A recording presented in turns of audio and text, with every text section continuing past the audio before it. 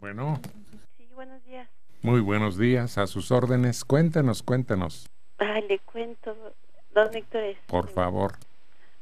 Eh, le comentaba la persona que estoy en un, en un, este, en un enredijo, ya me enredé toda, eh, con esta situación con mi marido que quiere vivir con dos personas. Pero yo no, yo no, yo no me siento a gusto. Le comentaba que mi problema comenzó hace seis años. Y yo en un, hubo un tiempo que le agarré mucho, mucho rencor. Yo me fui al programa de 12 pasos. Ahí me enseñaron a perdonarlo, a la verdad ahorita que él se fue de la casa ya este pues ya no fue lo mismo que aquella vez que aquella vez pataleaba lloraba me desgreñaba ahorita mi, mi problema es de cómo decirle a él yo le comentaba que es una persona muy muy enojona muy neurótica muy muy agresivo pero agrede verbalmente sí entonces este, él todo lo ve a su conveniencia. Este si yo le comentaría esto que yo ya no quiero nada con él es porque yo ya ando con otra persona según él. Él es él es así muy machista. Entonces yo esta situación yo la veo muy muy o sea le pongo un mal ejemplo con mis para mis hijas yo digo si yo acepto que ya acepté durante un mes pero la verdad a ver a ver eh, la acusa a usted sin sin bases Sí, le digo, si yo le comento. No, no, espéreme. Primero contésteme. La acusa sin bases. Sí. Ahora, ¿tienen hijos cuántos? Cuatro. ¿De qué edades? Catorce, nueve, seis y cinco. Y, y ahora él quiere tener a dos mujeres en su casa o algo así, ¿le entendí? No, él tiene otra familia, pero en otra casa. Sí. En una casa pequeña. Yo vivo pues en mi casa igual como se dice la casa pequeña y la casa grande entonces él quiere vivir con las dos unos días un día allá y un día aquí o sea un día y un día va y ah ya se lo propuso así sí ya lo vive así pero ahorita mi problema es de que si yo acepté ya durante un mes porque él se fue el 3 de enero pero yo no ya pasó un mes y no yo no quiero yo no quiero pues seguir así porque pues le digo el, el amor con él pues ya se deterioró ya se ¿Y allá cuántos hijos tiene y de qué edades? Allá tiene dos de él, que el más grandecito tiene seis años, que es lo que tiene mis problemas. La otra tiene, va a cumplir tres. Y uno que ya tenía la, la señora, que no es de él, pero pues mantiene a todo el paquete. Y otra cosa con él es de que él me da muchas cosas materiales como por, así como para que yo diga no pues no me puede dejar porque como chantaje exactamente apenas compré una camioneta de esas grandotas. Me compré, digo, me compra varias cosas como que para así, como que no ¿Qué, ¿Qué edades tienen ustedes dos? 33 años. ¿Los dos? Ajá. Pero a él le va muy bien. Pues sí, gracias a Dios y a su trabajo de él, pues sí, este, puede solventar las dos familias. Ándele, pues, cómo no, con todo gusto damos una opinión. Otra pregunta, este, hoy va a ser la firma de lo de la camioneta. Yo no quiero firmar como yo que fuera la dueña y él quiere que yo sea la dueña. Ajá. Entonces eso es lo que yo tampoco quiero para que el día que yo le diga, pues, sabes que hasta aquí no diga que soy una abusiva, una... Ándele, pues. Muchas gracias y Buenos días. ¿eh? Hasta luego. Hasta luego. Pero señora, ¿qué le preocupa a usted lo comercial, hombre? Pues eso es lo de menos. Mire, aquí hay dos formas de ver las cosas. Si usted tiene dignidad, pues, pida el divorcio.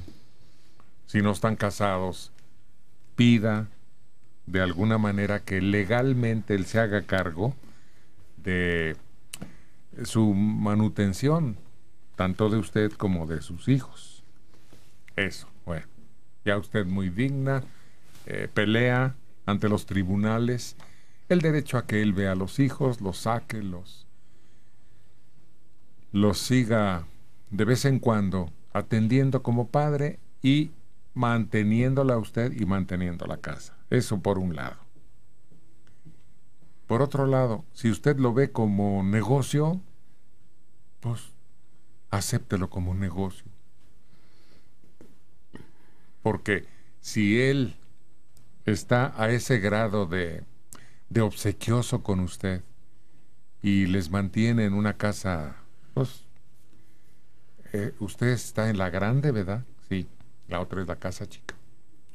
Entonces, si usted acepta el trato, pues deje de quererlo, pero deje que quiera a sus hijos y sus hijos lo quieran a él y usted nada más entra en una especie de transacción comercial.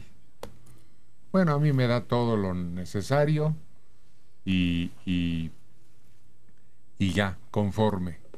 Ahora el problema es, como usted lo describe en unas cuantas frases, ¿eh? Enojón, agresivo, inventa. E, en ese renglón es imposible que usted acepte el convenio comercial. No, dificilísimo. Además, usted en cierto momento va a decir, bueno, pues yo también tengo derecho. Y esto desata un conflicto que se ahonda más todavía y se vuelve odio, Empieza como resentimiento, desconfianza, pero después se vuelve odio. Entonces, es cosa de usted, señora. O acepta el, el, trato comercial, el convenio de conveniencia para usted y para sus hijos, o pinta usted su raya y dice, hasta aquí. No permito yo esa situación. Sobre todo porque él se siente con derecho allá y aquí de decir, aquí mis chicharrones truenan, y si no te dejo ir, no vas, y si te eh, encuentro por ahí con alguien, los mato a los dos a balazos, no sé. Así que, ¿cómo la ve? ¿Y usted preocupada por la firma de la camioneta? No, hombre, eso es lo de menos.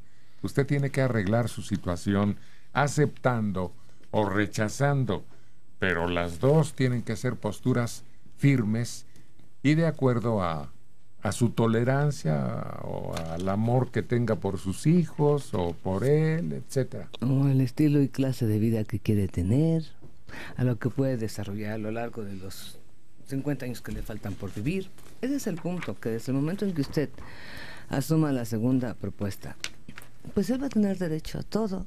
Bueno, va a ser un negocio. Tú haces como que me quieres, yo como que te quiero, pero me tienes muy bien. No, señora la puede tener muy bien sin necesidad de que finja nada. Usted lo dijo, es la casa grande, es la esposa, hay hijos. Y yo creo que eh, al no decidir está decidiendo. No lo ha decidido, pero decidió en enero. Dice, él se fue y ya regresó y yo lo permití. Bueno, al no decidir aclarar una situación, está decidiendo que está dispuesta al triángulo. Por otro lado, se justifica y dice, es que él es muy agresivo, es que si yo le digo que quiero la separación va a decir que ando con alguien.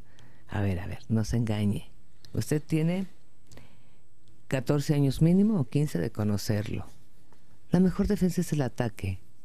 Y él la va a atacar por ese lado, diciendo es que tú me engañas y te quieres separar de mí por eso.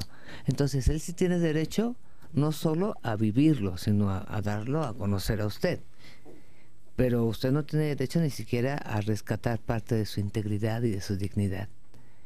Porque él lo va a achacar a mil cosas. en el fondo él sabe que no es cierto, pero de aceptar que usted lo deja por su infidelidad es muy duro.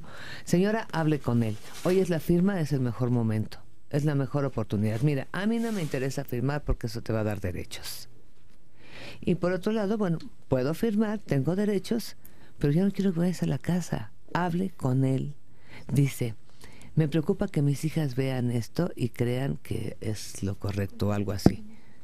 Pues es que para usted es lo correcto porque lo ha permitido. Y no me diga que desde hace seis años que tiene un hijo de seis años con esta mujer, usted no lo sabía. No es de enero para acá, señora, que lo ha permitido. Es desde hace más de seis años. El problema no es que se lo haya permitido a él. Finalmente la mantiene. El problema es que usted se lo haya permitido cayendo en una cuestión de prostitución, porque siempre lo he visto así. Tú no puedes permanecer al lado de un hombre que te está haciendo la vida de cuadritos y que te tiene embarazada a ti y a la otra mujer, porque tiene, tiene dos hijos de la misma edad. ¿A cambio de qué?